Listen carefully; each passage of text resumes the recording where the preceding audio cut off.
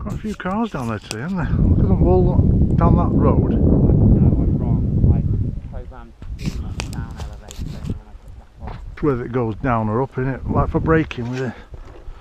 The nose is going down. Yeah.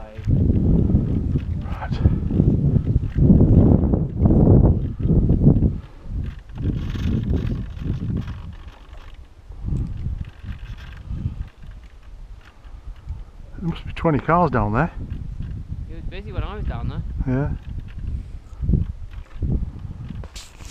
Super busy. So in some ways. There weren't that many when I arrived. I thought I thought there'd be a load before dinner. They'll work it off and then go home and have dinner. Seems to be like constantly busy all day. Yeah. Come up, coming up there, there were kids sledging down. They were, but without sledges. What, today? Yep. Lovely. and without snow. The parents, you could hear it was like about four or five families. They were, they were dragging the kids down by the back of the clothes, sliding them down. They didn't even have a black bag in it or anything. They were just thought they'll have grass burn, wouldn't they? Grass burns as well.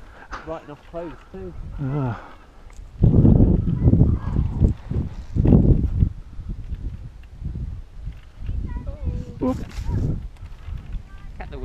Wings level. It's alright. DLG would have been ideal today. Yeah. The blaster. See what happens if I give it. a- Just need to. I did. I, I have picked myself up a little one meter moulding one to build. Yeah. Little thing to see how that goes. Is it that's what it's called, a little thing? No, No. I can't remember what it's called. Hmm? I can't remember what it's called. It's not called little thing.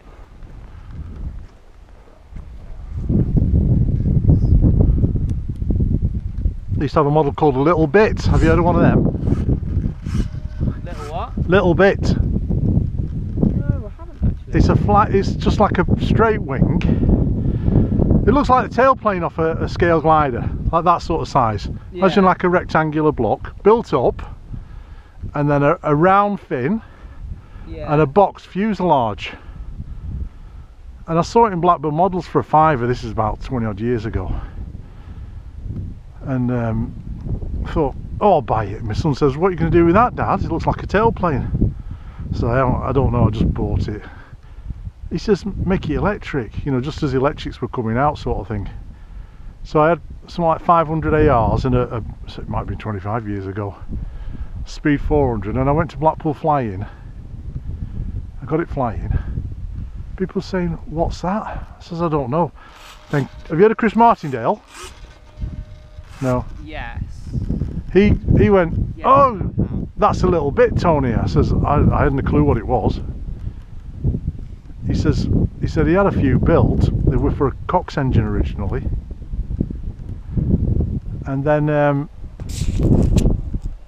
mate says to me, he says, "Oh, I can see you're struggling to launch. Do you want me to launch for you, Tony?" I went, "Yeah, all right." So he threw it, and he threw it into the deck, Oh no. and there was because it were built up wing and bits. There were bits all over. Chris Martindale's son says, "Dad, look, the little bits, little bits, in little bits." And I had my camper van then. I went in and I got the super glue out and I got it all back together again. And I launched it myself and I flew it around. Bring it round my house. I want to see what you're using and all this lot for a, a scale model. You know, the electric. It was just only bog standard s- 400 6 volt. Yeah. He used to do lightnings and things like this, and uh, but he used to put the engine on the back because the nose isn't spoilt then. And he did a Lancaster with four just freewheeling propellers.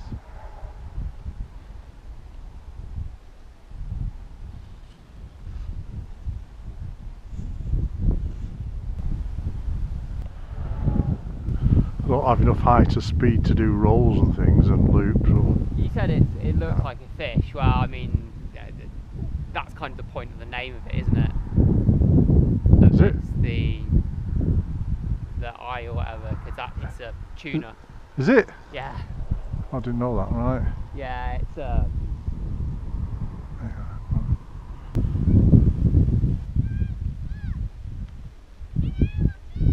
An aeroplane! Oh, Dad, look, an aeroplane in the sky.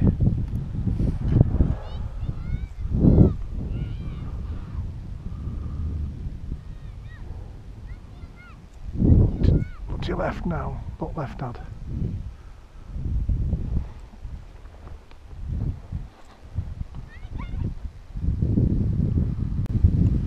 How far will it fly, mister?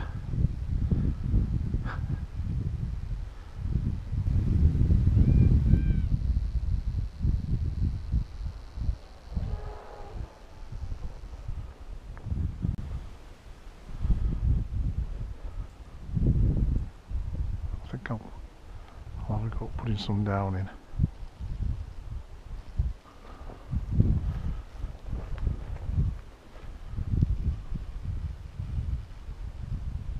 You try and do it afterwards.